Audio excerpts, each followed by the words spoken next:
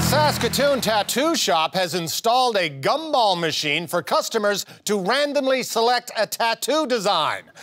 It sounded pretty cool to me, said one customer as he got a portrait of Paul Martin permanently etched into his bicep. Though I was hoping for a dragon.